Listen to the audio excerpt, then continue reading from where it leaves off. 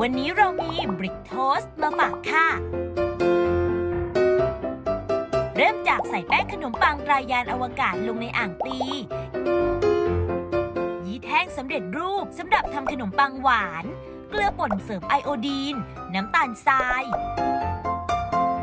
สมพอเข้ากัน เติมไข่ไก่ น้ำเย็น เนยสดชนิดเค็ม ตีต่อจนก้อนโดเนียนแล้วปิดเครื่อง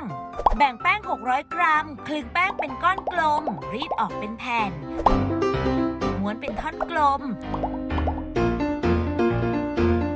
บีบตะเข็บให้สนิท ตัดแบ่งเป็น 3 ส่วน วางลงในพิมพ์ที่เตรียมไว้ ปิดฝาพิมพ์ เหลือช่องไว้เล็กน้อย พักแป้งจนขึ้นเป็น 2 เท่า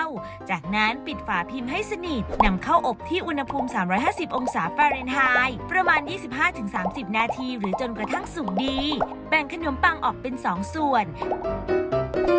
ใช้มีดกรีดขอบขนมปังทั้ง 4 ด้านให้เป็นช่องเหลี่ยม นำเนื้อขนมปังตรงกลางออกมาหั่นเป็นชิ้นสี่เหลี่ยมลูกเต๋าขนาดเท่าๆกัน เตรียมไว้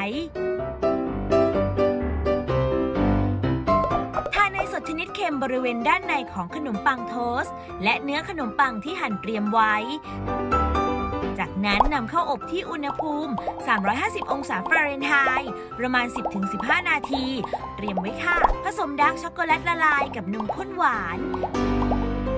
เนยสดชนิดเค็มละลาย คนให้เข้ากันเตรียมไว้ เรียงขนมปังหั่นเต๋าที่อบไว้ และกล้วยหั่นแว่นลงในขนมปัง toast ตักไอศกรีมรสที่ชอบลงด้านบน ราดด้วยซอสช็อกโกแลต ตกแต่งด้วยวาฟเฟิลกรอบ บิสกิตแท่งเคลือบ white chocolate whipping cream เชอร์รี่แดง ใบสะระแหน่แค่นี้ก็พร้อมเสิร์ฟแล้วค่ะ กับเมนู brick toast แค่มีผลิตภัณฑ์ TFM ติดครัว ก็อร่อยกันได้แล้วล่ะค่ะ